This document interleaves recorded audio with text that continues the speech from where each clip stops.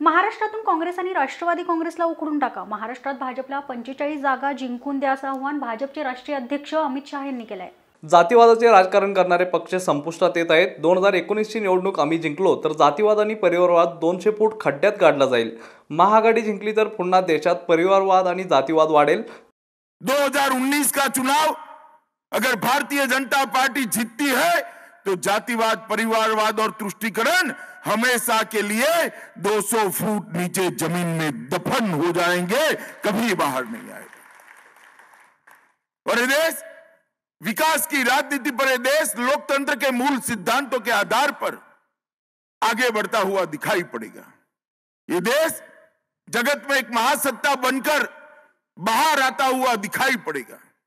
और 2019 की चुनाव में जो गठबंधन ठग बंधन हो रहा है वो जीते तो फिर से देश उसी दिशा में जाएगा जातिवाद परिवारवाद और तुष्टिकरण की दिशा में। देशाच्या सत्तर वर्षापैकी पंचावन्न वर्ष गांधी कुटुंब सत्तेत होते. पण देशात कोणतेही परिवर्तन झाले नाही.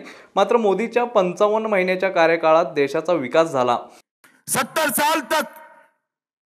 और सत्तर साल में से पचपन साल तक ये राहुल बाबा एंड कंपनी के परिवार ने शासन किया है मित्रों, पचपन साल तक। पचपन साल कोई छोटा समय नहीं होता। व्यक्ति के जीवन में भी छोटा समय नहीं होता, देश के जीवन में भी छोटा समय नहीं होता। पचपन साल तक उन्होंने शासन किया है। उनके परिवार ने शासन किया है। परिवार ने शासन किया पचपन साल तक, मगर देश में कोई परिवर्तन नहीं आया। मोदी जी ने पचपन महीना शासन किया और पचपन साल में जो वो नहीं कर पाए थे, वो पचपन महीने के अंदर करने का प्रयास किया। और एक सफल प्रयास किया है। परिणाम गाँव गाँव घर घर जाकर हम देख सकते हैं।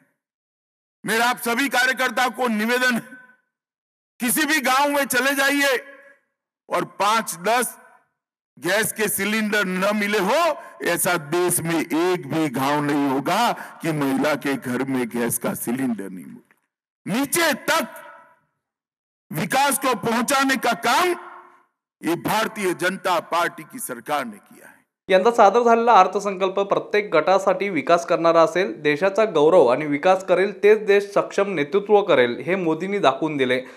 बजट देश की जन आकांक्षाओं की पूर्ति करने वाला बजट है।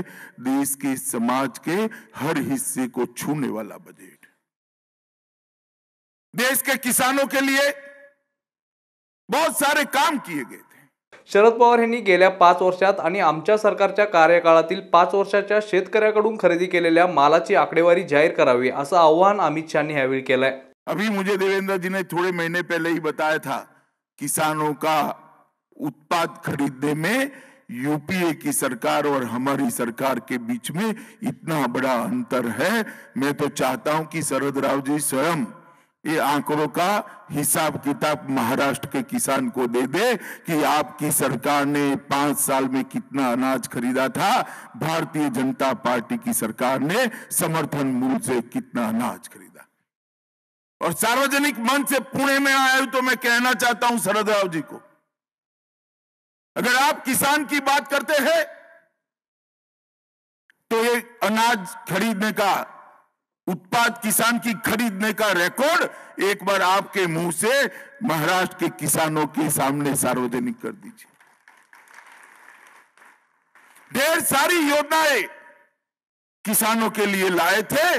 मोदी जी ने लघु और सीमांत किसान के लिए लगभग लगभग तेरह करोड़ किसानों के लिए छह हज़ार रुपया प्रति साल उसके बैंक अकाउंट में डालने का काम ये बजट के अंदर इसकी घोषणा की है और ये काम तुरंत ही शुरू होने वाला है।